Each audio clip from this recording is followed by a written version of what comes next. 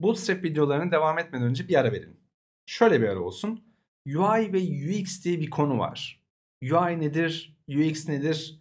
Sanki ikisi de birbirine benziyormuş gibi ama tam olarak benziyor mu? Bunu biraz netleştirelim. UI User Interface yani kullanıcı arayüzü. UX ise kullanıcının deneyimi anlamına geliyor. Bu ne demek? Ben daha basit bir örnek vermek istiyorum ilk önce bu iki konunun arasındaki farkı anlatabilmek için. Birincisi bir kapının olması ve bir kapının kolunun olması bir UI'dir. Yani bir kapının olması fiziksel bir dünyadan örnek verelim ve kapının aynı zamanda da bir kolunun olması UI elementidir. Ama kapı kolunun konulduğu yer veyahut da kapının açılma şekli aslında bir UX'tir. Nasıl yani? Mesela şöyle düşünelim. Bütün kapılar, bütün kapılar ortalamada her insanın zıplayarak ulaşabileceği yukarıdadır. Yani bütün kapılar aslında bizim zıplayarak ulaşabileceğimiz seviyede ve kapıyı açabileceğimiz o kapı kolu zıplayarak ulaşabileceğimiz seviyededir. Doğru mu? Hayır değil. Herkesin direkt olarak elini uzatabileceği seviyedir. Yani siz baktığınız zaman bu hareketi yaparak direkt olarak kapı kolunu uzanıp açmak istersiniz ve ortalama bir insan boyutuna göre hesaplanmıştır buradaki durum. Yani zıplayarak ulaşıyorsanız demek ki burada bir sıkıntı var. Bunu hatırlayalım. İkincisi, tüm acil kapılar kesinlikle ve kesinlikle içeri doğru açılır. Doğru mu? Hayır değil. Bütün acil kapıları aslında dışarı doğru açılır. Sebebi ise panik halinde iterek direkt olarak dışarı çıkmamız için. Eğer acil kapılar içeri doğru açılırsa bu bir UX hatasıdır. Yani kullanıcı deneyimi hatasıdır. Çünkü panik halinde bütün insanlar dışarı doğru çıkmak isterler. O yüzden de içeri doğru açılan bir kapıda zaten sıkışma yaşanır. Ve sıkışma yaşandığı için de biz panik oluruz ve birdenbire ortam çok daha farklı bir hal alabilir. Peki bunu neden anlattım? Şimdi bir şeyin oluyor olması demek onun doğru çalıştığı anlamına gelmez. Yani bir kapının olması ve kapının kolunun olması veyahut da kapının olması ve kapının içeri doğru açılması onun doğru olduğu anlamına gelmiyor demek ki. Hmm. Benim burada öğrenmem gereken şey şu. Birincisi bir elementin olması yani bir kapının olması bu bir UI'dir. Ama kapının doğru açılıp açılmaması aslında kullanıcının deneyimin doğru olup olmaması ile alakalı. Peki bunu kim belirliyor? İşte günümüzde UX uzmanları diye yani kullanıcı deneyimi uzmanları diye kişiler ortaya çıkmaya başladı. Peki niye böyle bir kişi ortaya çıktı? Neden böyle bir şeye ihtiyaç duyduk? İhtiyaç duymamızın sebebi ise satış yapacağınız bir yer olsaydı bu satış yapacağınız yerin içerisinde siz dursaydınız hiçbir deneyiminiz olmasaydı bile satışın neden olmadığını, satışın neden artmadığını, neden insanların gelmediğini anlayabilirdiniz. Bir şeylerin yerini değiştirdiniz. Her değiştirdiğinizde ise aslında yeni bir deneyim katardınız ve belki de bir müşterinizin söylediği bir şeyden dolayı aydınlanıp yolunuza devam edebilirdiniz ve bütün UX yani kullanıcı deneyimini değiştirebilirdiniz. Fiziksel bir yerde olsaydık. Ama fiziksel bir yerde değiliz. Dijital bir yerdeyiz. Kullanıcı bir şey beğenmeyince ne yapıyor biliyor musunuz? Gidiyor. Mesaj atmıyor. Selam vermiyor. Bir şey söylemiyor. Sadece gidiyor. Demek ki böyle bir durumda bizim kullanıcıyı analiz edebilmemizin yöntemleri olması gerekiyor. UX yöntemleriyle ilgili bir sürü de araç var. Bu araçlar mouse hareketlerini takip ediyor. Bu araçlardan bazıları sadece analiz yapıyor hangisinin nerede olması gerektiği ve nasıl olması gerektiği ile ilgili aslında bilgiler veriyor. Yani şöyle düşünün. Siz butonu yaptınız, koydunuz ama doğru yerde mi buton? Belki de başka bir şey istiyor kullanıcı. Belki başka bir yere tıklamak istiyor. Ve sizin koyduğunuz butona tıklamıyorlar. Peki bunu nasıl anlayacaksınız?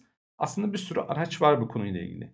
Bu bizim konumuzda değil. Yani UX uzmanlarının olma sebebi veyahut da bizim bu konuya eğilme sebebimiz bu. Şimdi şöyle bir olay daha var. Eğitim boyunca anlattığım birçok konu aslında sadece derinleşmek isterseniz o konuya derinleşebileceğiniz konular içeriyor. Mesela ben olsam şunu diyebilirdim. Ben CSS uzmanıyım. Yani CSS uzmanlığı diye mesela Türkiye'de çok büyük bir dal yokmuş gibi gözükse de CSS uzmanı olarak sadece CSS konusunda çalışmalar yaparak çok daha farklı bir yere gelebilirsiniz. Veyahut da ben web sitesi hareketlendiricisiyim. Yani web sitesindeki UI elementlerinin doğru yerde olması gerektiği ile ilgili bir uzmanlığa sahibim deyip belki de sadece bir firmanın bile ihtiyaç duyduğu bir şey öyle bir verebilirsiniz ki o verdiğiniz şey sizi sadece sadece bir firmaya yaptığınız bir iş bile niş bir alanda sizi zengin edebilir veya sizi istediğiniz konuma getirebilir. O yüzden de her bir konunun kendi içinde önemi olduğunu unutmayın.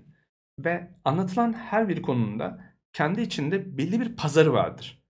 Bu pazara sizin ne kadar hitap etmek istediğiniz tamamen sizinle alakalı. Mesela buradan bir daha bir pause yapıp ondan sonra ya bir dakika ya şu UX neymiş deyip Sonra o konuyla ilgili biraz daha araştırma yapıp belki de ona yönelebilirsiniz. Ama gaza gelmeyin. Burada anlatmaya çalıştığım şey şu. Aslında birçok uzmana ihtiyacımız var ve bu uzmanların her birisi işlerini doğru yaptığı zaman olay değişiyor. Siz de full stack uzmanı olarak aslında bu bilgilerin geneline hakim olabilirsiniz. Ama geneline hakim olduktan sonra bir dakika bunların hepsini öğrenmeli miyim diye düşünmeyin. Hepsini öğrenmeniz gerekmiyor. Ne olduğunu bilin, nasıl işlediğini bilin. Belki bu işi siz yapmanız gerektiği zaman o gün gerekli olan ihtiyacınıza göre bu deneyimi elde edebileceksiniz. Çünkü aslında olaylar hep böyle normal hayatımızda karşılaşmış olduğumuz bilgilerin dijitalleştirilmiş halinden oluşuyor. Yani kapı örneğindeki gibi. Bu örnekleri eğer siz fiziksel dünyadan kendi öğrenme tarzınıza göre adapte edip dijital dünyaya aktardığınız zaman olaylar tamamen çözülmüş oluyor arkadaşlar. Siz ne kadar dijital dünyayı fiziksel dünyaya benzetip aynı zamanda oradaki ihtiyaçları dijitalde daha hızlandırarak çözmenin yolunu bulduğunuzda yine olay farklı oluyor. Ve full stack eğitimimizde aslında bu tarz bilgileri de ben arada vermeye çalışıyorum. Ve full stack olmak demek aslında birçok konuyu görebilmek demek ama şunu da unutmayın. Derinlemesine bir şeyleri biliyor olmak için zaman gerekiyor bu bir. Derinlenmesine bir şeyleri kullanabiliyor olmak için müşteri gerekiyor. Yani sizin gerçekten de ilk önce çok daha basit bir şeyle yola çıkıp basit ürünleri piyasaya sürüp oradan müşterinizi bulup daha sonra daha detaylı işler için daha detaylı işleri olan müşteriler olduğu zaman gelmelisiniz veyahut da araştırmalısınız. Benim kriterlerimden bir tanesi de şu. Genel olarak her şeyi bil, dokümanlarını hızlıca oku, 10 dakikanı 20 dakikanı ayır, tamam bununla ilgili bilgiye sahipsin. Daha sonra müşteri gelince ve o müşteri ancak o projede çalışmak istiyorsa ve sen de çalışmak istiyorsan tamam o zaman öğrenebilirsin. Yani genellikle benim uyguladığım ve keyif aldığım strateji bu. Ama başlangıç düzeyinde unutmamanız gereken şey şu.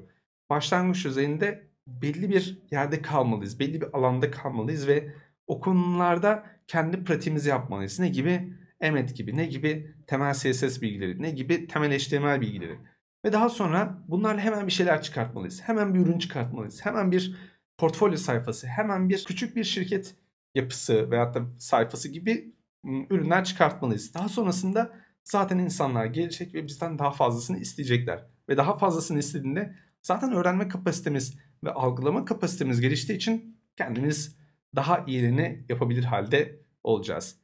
UI ve UX'in arasındaki farkı anladıysanız şunu unutmayın. UX bizim için çok önemli ama UX ile ilgili ayrı bir detay kısım açıyor olmanız lazım kendi içinizde. Yani şöyle olması gerekiyor. Bir canlı ürün olması lazım. Yani bir mağazanın olması lazım veyahut da bir web sitesinin olması lazım. Orada bir hareketlilik olması lazım ve oradaki hareketliliğe göre bir şeylerin değişmesi için bütçe gerekiyor. Yani UX uzmanı olacağım deyip olamazsınız.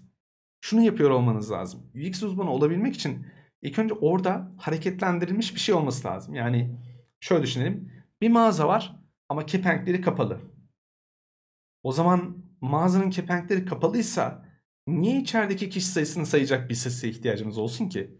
Ve hatta içerideki kişilerin kaç tane olduğunu bilmek gibi saçma sapan bir fikre kapılmamıza gerek var mı? Bu yüzden de UX ile ilgili bir gelişim yapacaksak yani kendimizi geliştireceksek ilk önce aslında biraz UI tarafında tabii ki iyi oluyor olmamız lazım. Yani komponentler nedir? Bu komponentler nasıl çalışır? Hangi komponent neden kullanılır? Bunları biliyor olmamız lazım. Bu yüzden de bir sonraki videoda aslında bu konuları açıklıyor olacağım. Biraz daha komponentleri tanıyacağız. Ve bu sırada da Bootstrap'in muazzam güzel olan web sayfasından, doküman sayfasından komponentler hakkında daha fazla bilgi alıyor olacağız. Ve bu da bizim işimizi inanılmaz kolaylaştıracak. Bir sonraki videoda görüşürüz.